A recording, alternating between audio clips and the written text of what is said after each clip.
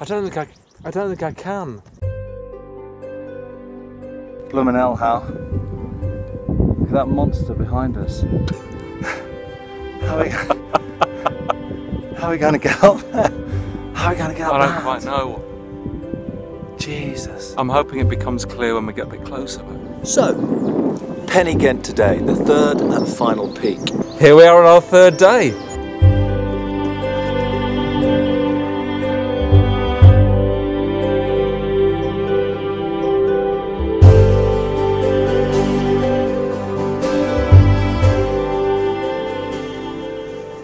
Of the absolute delights of being in the countryside in early spring is that it's lambing time.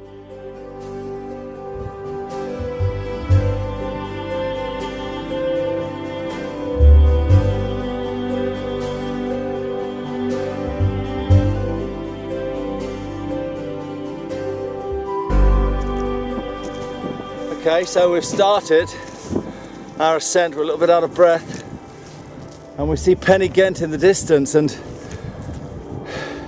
we're slightly horrified. Although it's the shortest distance, do you think it's like meant to be the most difficult ascent?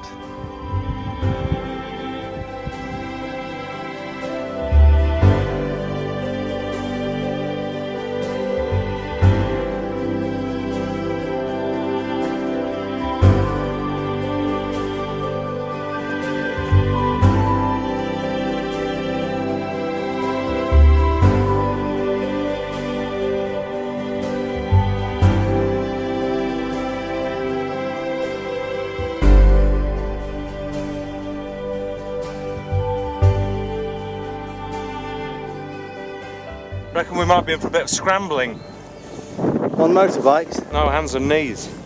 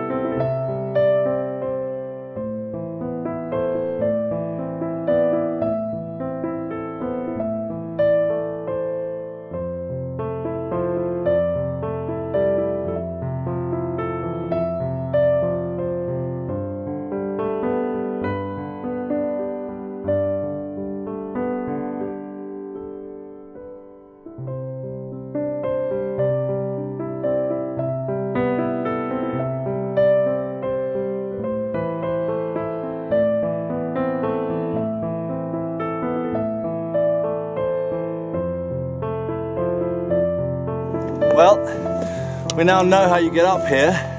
It's a bit of a rock climb, but there's steps carved into the rock, so it's not that difficult, it's just very steep. But the views from up here are just outstanding, and what a treat to actually cross the Pennine Way. That's a real treat, because that's on our hit list one day, when we can afford the time.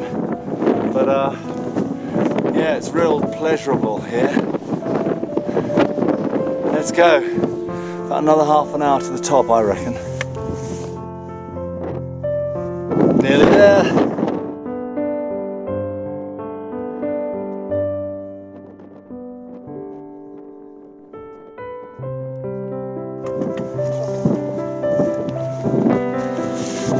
Made it to the top of Pen-y-ghent, my favourite of the three. Um, it looked quite scary from down the bottom, but actually it wasn't too difficult because the steps are are well maintained and not too tricky really. So it only took well an hour and 40 minutes to the top, which was pretty good. And now we're going to have a cup of tea and make our way down. Perfect.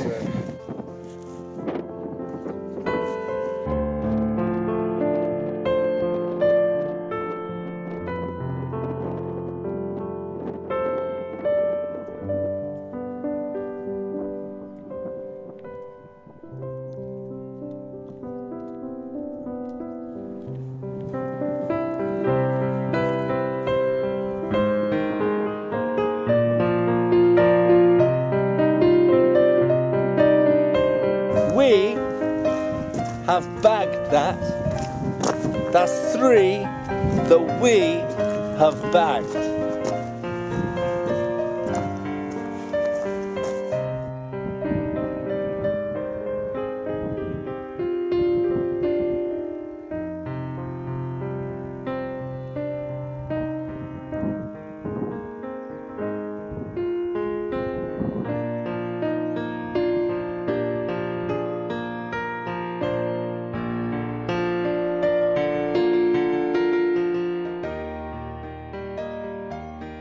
So we've been staying at number three boutique B&B in Settle for the last three nights as we've climbed the three peaks.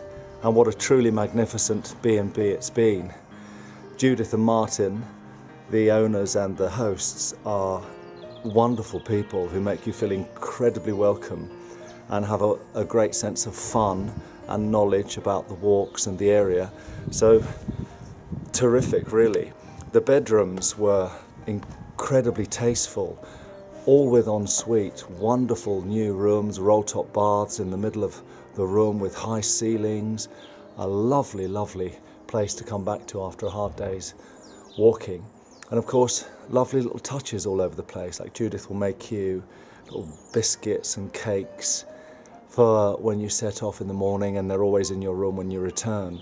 And the quality of breakfasts are magnificent locally sourced ingredients, of course, really well made, lovely little touches here and there. This makes this B&B one of the best we've stayed in and certainly well worth a visit, whether you're just visiting Settle or the surrounding areas or whether you're walkers.